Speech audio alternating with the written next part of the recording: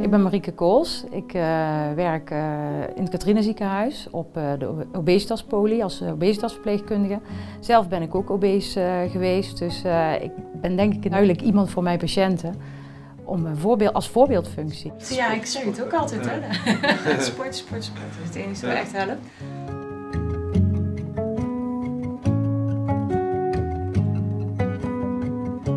Ben heel mijn leven zwaar geweest. Als kind uh, woog ik al 80 kilo, was ik 13 jaar of zo. Uh, ik denk dat ik 350 kilo af ben gevallen in heel mijn leven, maar zeker ook weer bijgekomen. Tot het niet meer ging. was ik 130 kilo op mijn zwaarst. And move like knives. Toen ben ik gaan lijnen en eh, vervolgens weer gaan jojoen. En toen zei dokter Smulders hier van, uh, van kom eens naar mij. Maar ik durfde niet, want uh, ja, ja, sommige mensen zou ik ook echt ziek zijn. En ik denk nou, mijn lijf geen Polonaise. Still untouched. Ik heb een gastric bypass, dus echt een grote operatie met verkleinen van de maag en nog de darmen omleggen.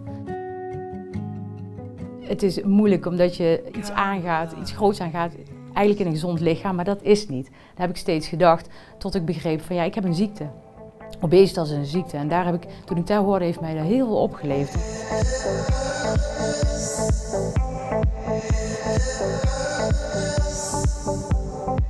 Ik had een doel. Ik, uh, uh, ik was al aan het, aan het sporten, eigenlijk al, al meteen na die operatie, maar dan op de sportschool. Totdat Marathon van Eindhoven eraan kwam en de kinderen heel erg gestimuleerd worden op de bijkorfschool. En uh, die kinderen wilden meelopen. Ja, dan moet moeder of een vader moet mee.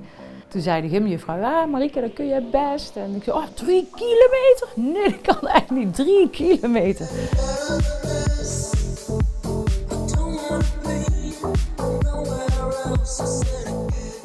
Dus daar ben ik eh, mee gaan trainen met Mustafa, die eh, elk jaar ook voor de marathon Eindhoven komt. En die heeft mij na die drie kilometer uh, begeleid. En daarna ben ik zelf door gaan lopen, eigenlijk zo van voor mezelf.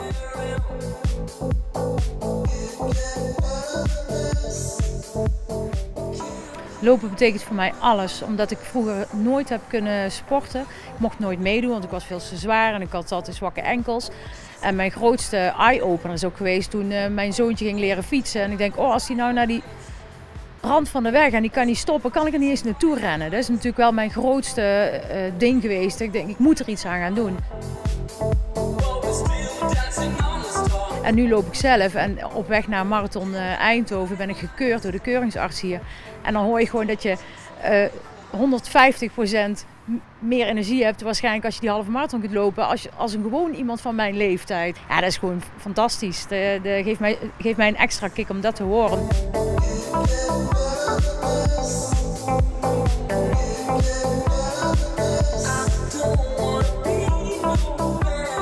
Is nog elke kilometer is beladen, omdat uh, het niet vanzelf gaat. Hier zeggen ze altijd, oh, loop ontspannen en, en uh, ontspannen lopen en vooral de, maar ja, voor mij is dat gewoon niet ontspannen. Want nog altijd denk ik van ja, er zijn zoveel uren, tijden geweest dat ik er zoveel voor heb moeten doen. En zo, zo mijn best voor heb moeten doen. En nu pas begint het echt leuk te worden.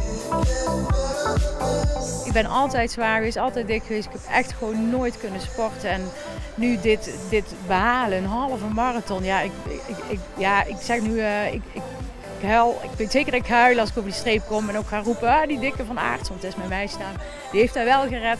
Maar ja, misschien gebeurt er ook wel helemaal niks, want ik heb dit al zo vaak geroepen. Dus ja, alleen ik moet hem nog wel uitlopen.